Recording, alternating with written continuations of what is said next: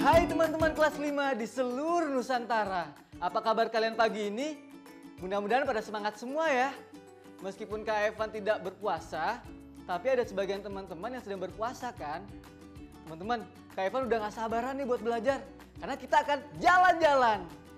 Jalan-jalan ke mana? Hmm, nanti Kak Evan kasih tahu deh.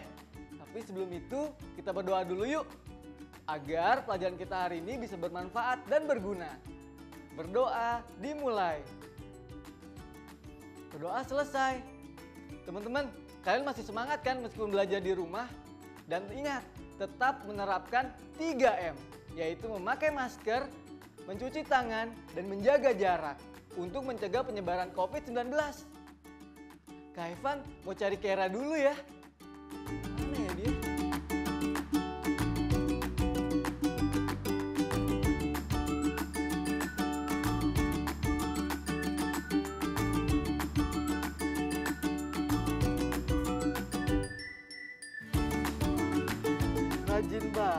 Kak Evan.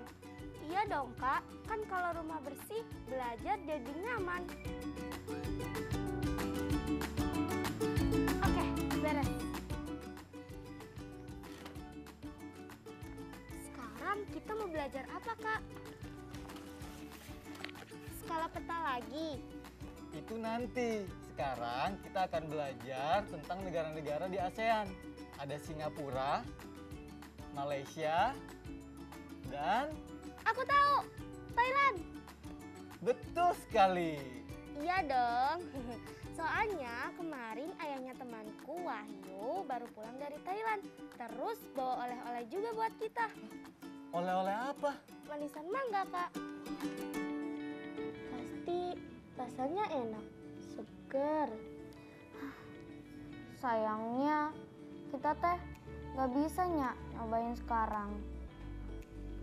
Ya wes, kita makannya pas buka puasa aja. Eh, tapi Kay, kamu bisa nyobain sekarang. Kamu kan gak puasa. Ya tapi kan aku menghormati kalian. Dulu kalau nggak salah teh bapak kamu pulang dari Thailand bawa oleh-olehnya manisan salak dan nanas ya. Kok buah-buahannya sama ya kayak di Indonesia? Kondisi geografis di Thailand sama di Indonesia emang mirip. Di Thailand, di kantor bapakku ada pohon duren, jambu biji, pepaya, dan masih banyak lagi. Oh, aku pernah makan durian Bangkok. Buahnya besar-besar. Aku juga pernah makan pepaya Bangkok. Tapi aku heran deh, kok bisa ya buah-buahan di sana besar-besar? Gak seperti di sini. Soalnya lahan-lahan pertanian di sana dikelola serius. Mereka punya banyak ide untuk mengembangkan pertanian di sana. Misalnya gimana? Pertanian di sana diteliti dulu, diperiksa tingkat kesuburannya. Dan benih yang akan ditanam juga diseleksi dulu. Maksudnya diseleksi? Dipilih benih mana yang cocok dengan lahan yang akan ditanami itu. Oh, pantes. Jadi nggak sembarangan tanam. Tapi sekarang aku jadi penasaran deh. Bisa nggak ya buah-buahan di Indonesia sebagus itu dan jadi terkenal kayak buah-buahan di Thailand? Kalau aku sih penasaran. Kira-kira bulan depan teh bapak kamu bakal bawa manisan apanya?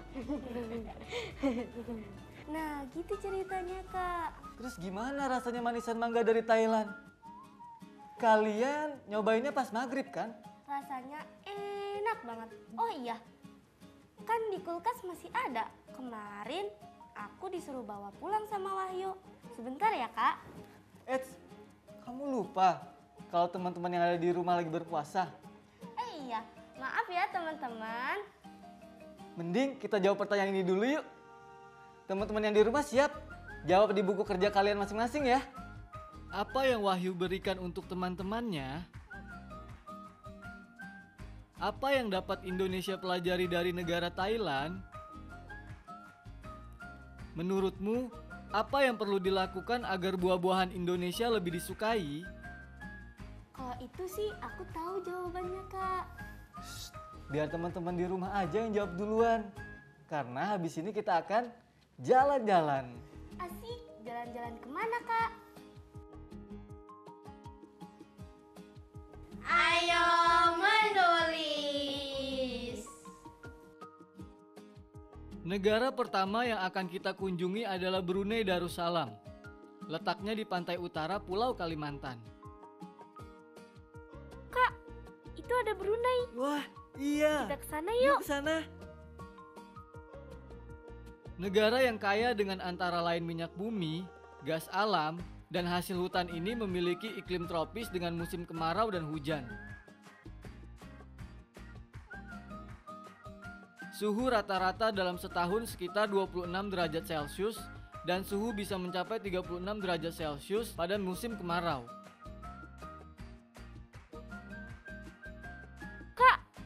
Ada Indonesia. Iya, itu Indonesia. Kita ke sana yuk.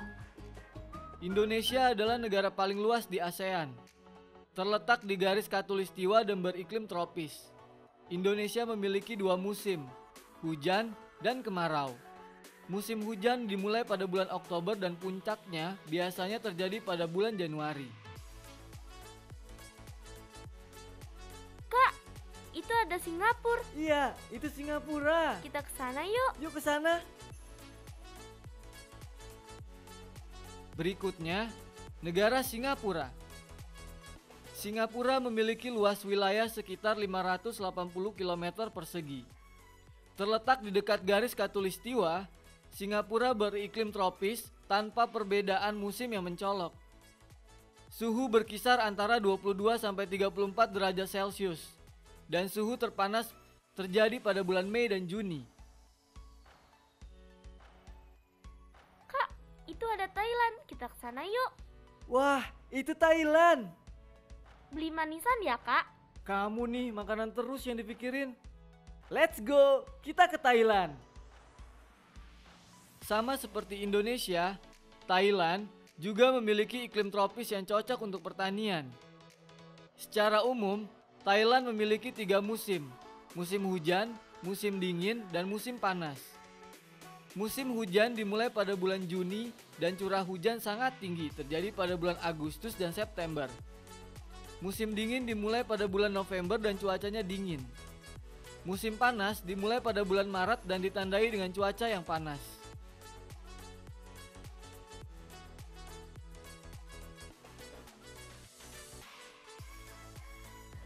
Gimana? Kamu paling suka negara apa? Semuanya bagus dan indah, Kak. Tapi aku paling suka Indonesia dong.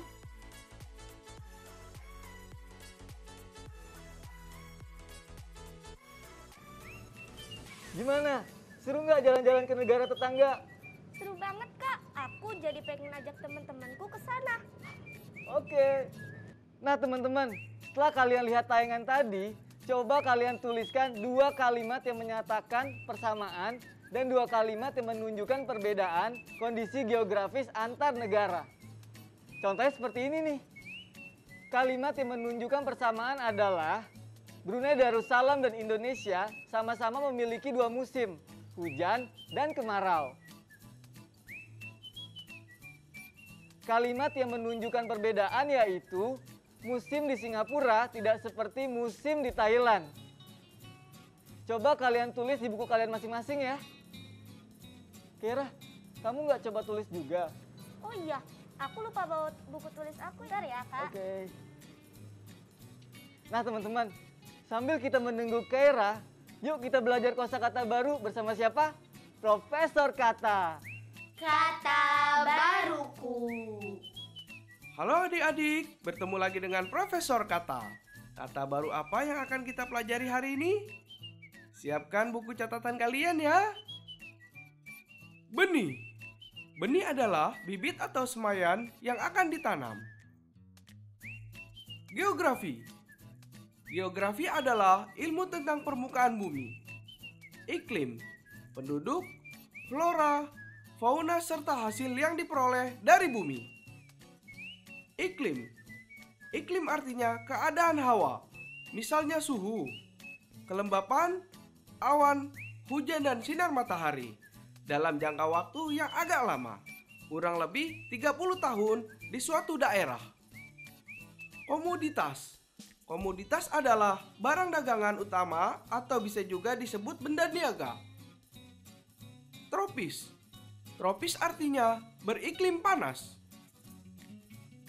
Itu tadi semua kosakata baru kita hari ini. Sampai jumpa lagi. Ayo berlatih.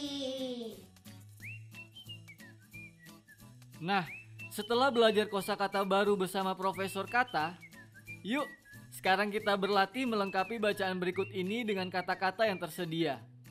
Tulis jawabannya di buku atau lembar kerja kalian ya. Apa kamu mau beli itu? Tanya Tias kepada Diana. Keduanya sedang berada di pameran flora. Diana mengangguk. Seluruh titik-titik milikku di Sidoarjo akan kutanami titik-titik ini. Kebun bungaku akan terkenal. Bunganya nanti akan jadi titik-titik unggulan. Jawab Diana berapi-api. Kamu yakin keadaan titik-titik Sidoarjo sesuai untuk bunga tulip ini? Bisik Tias. Oh, Dian menepuk kedua pipinya. Bunga tulip bisa ditanam di iklim titik-titik kan? Tias menggeleng, kamu harus melakukan titik-titik tanaman mana yang cocok dengan titik-titik di Sidoarjo.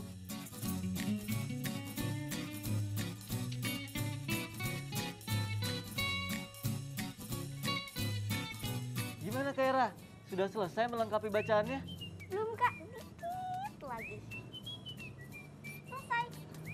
Sekarang kamu coba bacain ya. Oke kak. Apa kamu mau beli itu? Tanya Tias kepada Diana. Keduanya sedang berada di pameran Flora. Diana mengangguk. Seluruh lahan milikku di Sidoarjo akan kutanami benih ini. Kebun bungaku akan terkenal. Bunganya nanti akan jadi komoditas unggulan. Jawab Diana berapi-api. Kamu yakin keadaan geografi Sidoarjo sesuai untuk bunga tulip ini? Bisik Tias. Oh, Dian menepuk kedua pipinya. Bunga tulip bisa ditanam di iklim tropis kan? Tias menggeleng, kamu harus melakukan seleksi tanaman mana yang cocok dengan kondisi di Sidoarjo. Bagus, kamu pintar sekali. Teman-teman, masih semangat belajarnya kan? Setelah ini kita akan Berhitung.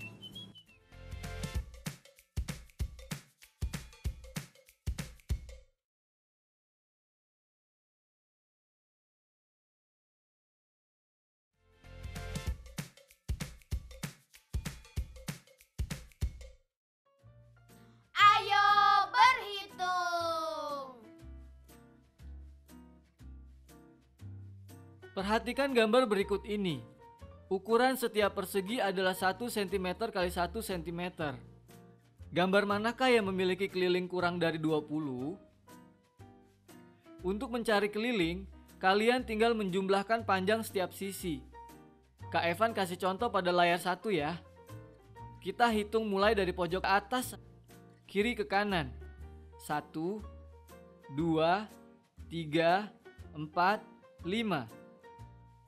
Ke bawah sama dengan 1, 2, 3, 4. Ke kiri sama dengan 1, 2, 3.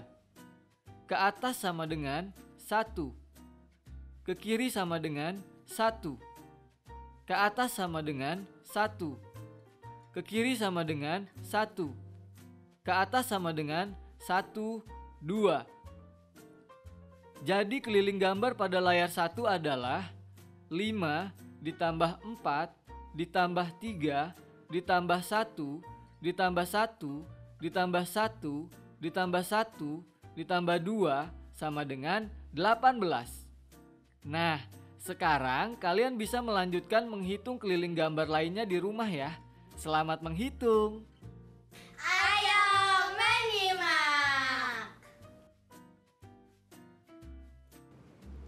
Di sini tertulis skala peta, Kak. Sama dengan 1 banding 1 juta. Itu artinya 1 cm pada peta sama dengan 1 juta cm jarak sebenarnya kan, Kak? Iya.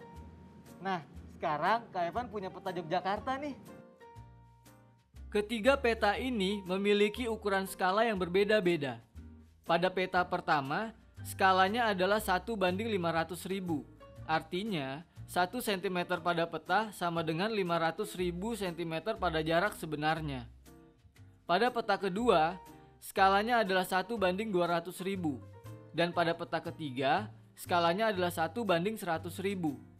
Perbedaan skala antara ketiga peta ini menghasilkan kedetailan gambar pada peta yang berbeda pula. Kalian bisa melihat perbedaannya kan? Jadi semakin besar skala, semakin kecil petanya. Semakin kecil skalanya, semakin detil petanya. Betul sekali. Hmm, gimana sih kak cara menghitung jarak sebenarnya kalau kita tahu skalanya? Kita dapat menghitungnya dengan rumus ini. Jarak sebenarnya sama dengan jarak pada gambar dibagi skala. Namun harus dipastikan, sebelum melakukan perhitungan, pastikan semua memiliki satuan yang sama. Sekarang kita lihat contoh berikut.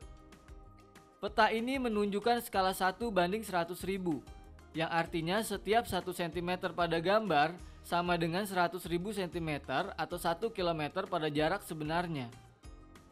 Jika diketahui jarak antara daerah A dan B adalah 1,5 cm, maka jarak sebenarnya antara daerah A dan B adalah sebagai berikut. Jarak sebenarnya daerah A dan B sama dengan jarak pada gambar dibagi skala. Jarak sebenarnya daerah A dan B sama dengan 1,5 dibagi 1 per 100 ribu cm. Masih ingat cara menghitung pembagian pecahan dengan membalikan pembilang dan penyebutnya kan? Jadi, jarak sebenarnya daerah A dan B sama dengan 1,5 dikali 100 ribu cm. Jadi, jarak sebenarnya daerah A dan B sama dengan 150 ribu cm atau sama dengan 1,5 km. Oh gitu ya kak, sekarang aku ngerti. Nah, kalau gitu kita ajak teman-teman lihat peta Asia Tenggara yuk. Ayo mencoba. Perhatikan peta Asia Tenggara berikut. Lalu jawab pertanyaan ini di buku kalian masing-masing. Cari tahu manakah yang lebih jauh jaraknya dalam kilometer. Apakah Kuala Lumpur Hanoi atau Kuala Lumpur Manila? Kira-kira kota apa yang jaraknya paling jauh dari Jakarta ya? Kota Yangon kak? Hmm, kota Yangon. Apakah teman-teman setuju bahwa kota yang paling jauh jaraknya dari Jakarta adalah kota Yangon? Tulis jawabannya di buku kalian ya, dan jelaskan juga alasan kalian mengapa setuju atau mengapa tidak setuju.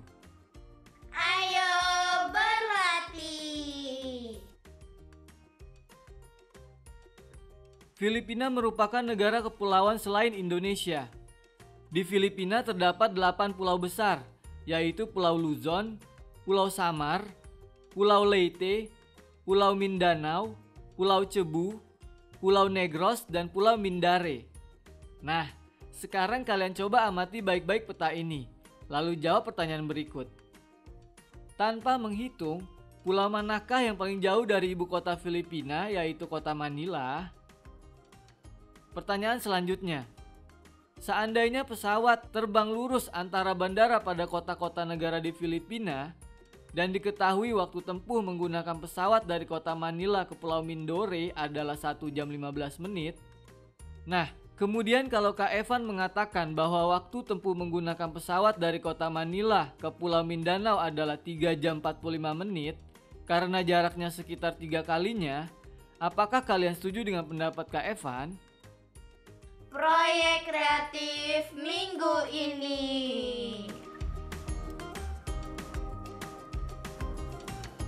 Loh, belajarnya udah selesai, Kak?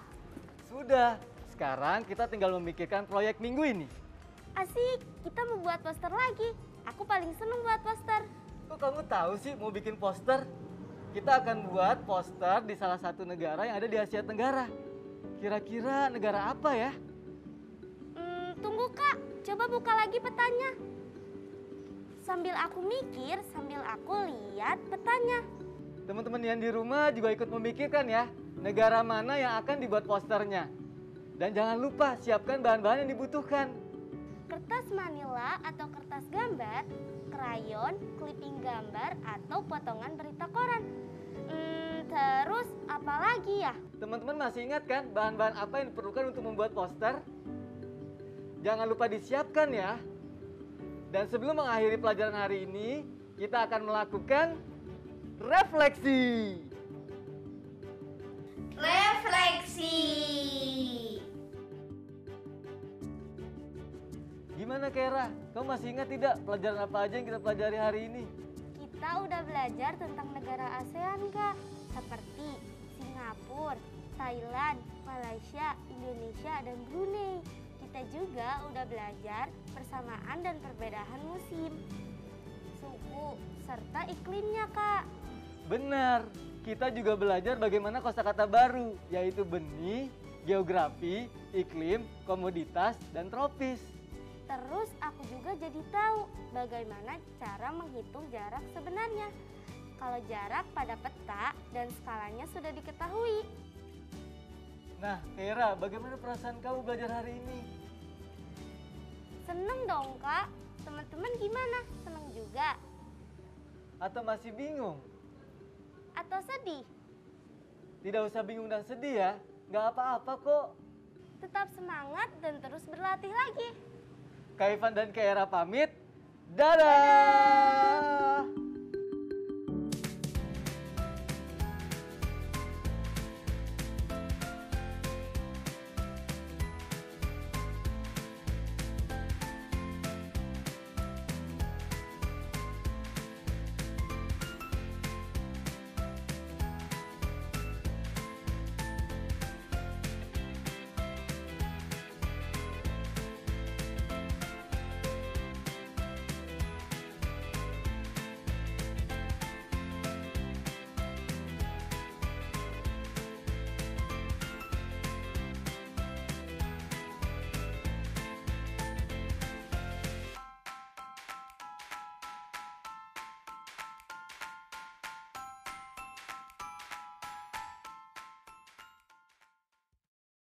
Sekarang tetap belajar dari rumah ya teman-teman. Jaga jarak, rajin cuci tangan, dan pakai masker agar kita mencegah penyebaran COVID-19.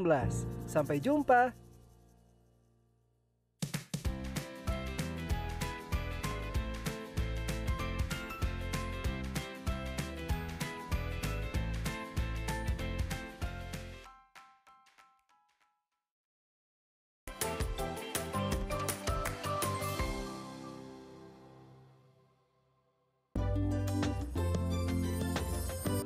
Sering-sering cuci tangan. Gunakan sabun. Pakai masker Menutup hidung mulut. Jangan lupa jaga jarak. Saat ketemu orang Makan yang bergizi Jaga kesehatan. Anak Indonesia anak Jangan kendor, jaga kesehatan.